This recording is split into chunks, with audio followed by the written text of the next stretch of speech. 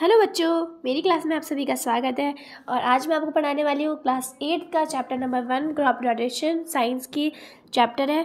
तो ओके तो आज सबसे पहले अपन पढ़ने वाले हैं इसके इंपॉर्टेंट नोट्स ओनली तो ये मैंने गूगल से लिए हैं तो आप लोग इसमें ले सकते हैं क्योंकि ये बहुत ज़्यादा इंपॉर्टेंट है और दिखने में मतलब मतलब कूल कूल लग रहा है इंपॉर्टेंट इंपॉर्टेंट है। इसलिए अपन को खाना क्यों चाहिए होता है, जिससे अपन है ना एनर्जेटिक रहे, अपन अपने को हेल्थी रख सके और जो सारे जो अपने रिपेयर है, जो अपने डैमेज है, जो अपने मतलब वर्क और टिश्यू कर रहे जैसे अपने कहीं पे लग जाती है, जैसे अपने घाव हो गया कहीं पे, ठीक है? लग जाती है हमने सॉरी घाव ग्रीन कलर का नहीं होता रेड कलर का होता है, ठीक है? तो हमने कहीं घाव हो जाता है तो अपने क्या होता है कि मतलब खून आ जाता है। तो अपने थोड़े से दिनों बाद में क्या होता है कि ऊपर मतलब डार्क डार्क कैसे मतलब इसको बोलते हैं ना प्लेटलेट्स वो कवर हो जाती है। वो अगर नहीं होगी, अगर हमने अपने कुछ खाएँगे नहीं मतलब हेल्दी नहीं रहेंगे तो वैसा नहीं होगा ठीक है? अब आता है कि ये ना ओके ओके और आप पढ़ते हैं how do the plants and animal get their food plants और एनिमल्स को अपना फ़ूड कैसे मिलता है? जैसे कि अभी आपने पढ़ा कि why do we need food okay अब अपन पढ़ेंगे कि how do the plants and get their food ठीक है अब आता है कि आ, जो कि जो प्लांट्स होते हैं वो क्या करते हैं? अपना खाना ना फोटोसिंथेसिस के प्रोसेस के बनाते हैं। ये आप सभी ने क्लास सेवन्थ में पढ़ा था ठीक है? क्लास सेवन्थ में आप सभी ने पढ़ा था ये चीज़?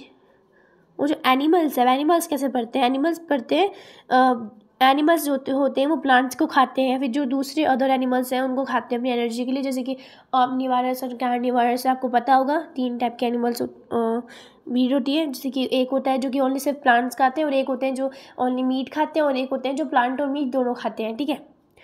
पता है आपको? ओके और अब अब क्या है कि अपन पढ़ते हैं अब एग्रीकल्चर प्रैक्टिसेस ये बहुत इंपॉर्टेंट है एग्ज़ाम में बहुत आता है। क्रॉप्स तीन टाइप की होती है zaid maize and okay rabi crops okay और, अब आएगा जे क्रॉप्स में क्या होता है? ये कि जो क्रॉप्स होती है, वो समर सीज़न में मार्च और जून के बीच में लगती है, जैसे कि आप इधर देख सकते हैं, ठीक है? और एग्ज़ाम्पल है, जैसे कि फ्रूट्स और ना, इसमें क्या होता है जेड क्रॉप्स में से फ्रूट्स और वेजिटेबल्स ही उगाई जाती है।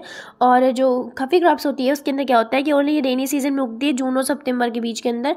और इसके जो एग्जाम्पल्स हैं, वो ये है कि ना पैडी मेज़ सोयाबीन ग्राउंडनट और कॉटन जैसी चीज़ें होती है, जो रोकती है। जैसे कि जो कफ़ी क्रॉप्स है, ये ज़्यादातर राजस्थान वाले जो एरियाज़ होते हैं ना, वहाँ पे पाई जाती है। और जो रबी क्रॉप्स होती है, वो कि summer season sorry winter season में पाई जाती है। अक्टूबर और मार्च के बीच में, और इसमें वीट और ग्राम्स और ये लगाया जाता है। जैसे कि वीट जो होता है वीट गेहूँ होता है, जो कि अपन खाते हैं, ठीक है? अब आते हैं ओके नेक्स्ट अपन पढ़ते हैं। अब अपन पढ़ते हैं basic parts of crop protection seven crops rotation होता है। जैसे कि first first preparation of soil क्या होता है सबसे पहले? प्रिपेरेशन ऑफ़ सॉइल होता है, ठीक है? ओके एंड उसमें क्या होता है कि अपन को ना ओनली जो मिट्टी होती है, उसको लूज़ करना होता है उसके अंदर, ठीक है? मिट्टी को लूज़ करना होता है उसके अंदर, है ना? अब फिर बाद में होती है सोविंग है ना? जिसमें अपन को ओनली जो प्लांटेड सीड्स होते हैं, उनको मतलब ढालना होता है। जैसे कि मैं आपको एग्ज़ाम्पल देती हूँ अपन ने जैसे कि अपन करते हैं ना, जैसे कि अपन ने ये जैसे मिट्टी है तो अपन ने मिट्टी के अंदर क्या करा? अपने प्लांट्स जो होते हैं, ठीक है? प्लांट्स प्लांट्स कैसे उगते हैं? प्लांट्स तब उगेंगे जब अपन है ना, इस जगह पे अपन बीज डालेंगे, ठीक है? जैसे कि ये ये है, अपन इधर बीज डालेंगे मिट्टी के अंदर और अपन लूज़ तो कर ही दिए ना सॉइल ठीक है? लूज़ तो अपन ने कर ही दी है सॉइल तो जो प्लांट्स है वो ग्रो होएगा तब जब अपन यहाँ पे जो कि बोलते हैं उसको सीड्स डालेंगे, ठीक है? तो सोविंग बहुत इंपॉर्टेंट है, उसके बिना प्लांट्स नहीं हो सकता, ठीक है? मैन्योर फर्टिलाइजर्स डालते हैं, जैसे कि मैं आपको एक एग्जांपल देती हूँ मैं, ठीक है? ओके। ठीक है, ये है, मिट्टी है अपनी, ठीक है। और अपने इधर प्लांट्स लगे हुए हैं, ठीक है। तो ये प्लांट्स को अपन मतलब कैसे मतलब वो करेंगे, क्या बोलते हैं उसको? ग्रो इसकी जो प्लांट में जो न्यूट्रिएंट्स हैं, वो अच्छे से कैसे जाएँगे जब अपन इधर मैन्योर डालेंगे, ठीक है? मैन्योर मैन्योर फर्टिलाइजर्स और मैन्योर फर्टिलाइजर्स में सबसे ज़्यादा हेल्थी जो मतलब जो प्लांट्स के लिए अच्छा होता है ग्रोथ के लिए और उनको बड़ा करने के लिए, वो ज़्यादा मैन्योर होता है। फर्टिलाइजर्स तो सिर्फ़ फर्टिलाइज़र अच्छे होते हैं बट वो अपने ह्यूमन्स के सेहत के लिए ना बहुत मतलब अच्छे नहीं होते हैं, ठीक है?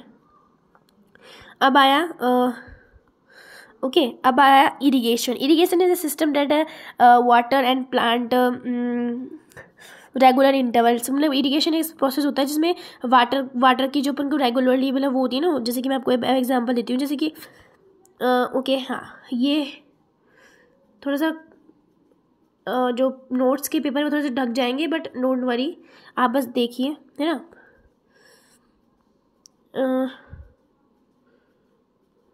ये प्लांट है। ठीक है? अब इरिगेशन जो सिस्टम होता है, वो क्या होता है? उसके अंदर क्या होता है? जैसे कि, ये पाइप होते हैं बड़े बड़े ठीक है? पाइप के पतले पतले होते हैं पाइप तो। और जो प्लांट में पानी निकल रहा होता है पाइप में छेद होते हैं होल होते हैं, इधर पानी जा रहा होता है, ठीक है इसके अंदर ओके ठीक है? तो ये सिस्टम होता है। तो मतलब इरीगेशन क्या प्रोसेस क्या पानी वेस्ट नहीं होता है इसके अंदर। ठीक है, और बाकी जो सारे सिस्टम होते हैं, उसमें क्या पानी वेस्ट हो जाता है। बट इसमें पानी वजह से बार बार नहीं गिरता। सिर्फ़ एक जो उसकी जो मेन वो होती है ना, उस, उधर, उस जगह पे ही गिरता है। ठीक है? बहुत इंपॉर्टेंट था। इरीगेशन सिस्टम आ सकता है। बट और स्प्रिंकल सिस्टम भी आता है। एक आपको पता होगा तो। स्प्रिंकल सिस्टम ऐसा होता है। एक सिस्ट ऐसे होता है पाइप होता है, जो खेत बड़े बड़े खेतों में लगा होता है। उसके अंदर इधर से पानी निकल रहा होता है। पानी निकल रहा होता है इसके अंदर से इधर से, ठीक है? बट इसमें क्या होता है, पानी बहुत ज़्यादा वेस्ट होता है। तो लोग ना मतलब अब अब तो पहले बहुत चलता था ये बट अब इरीगेशन सिस्टम चलने लग गया, ठीक है? तो अब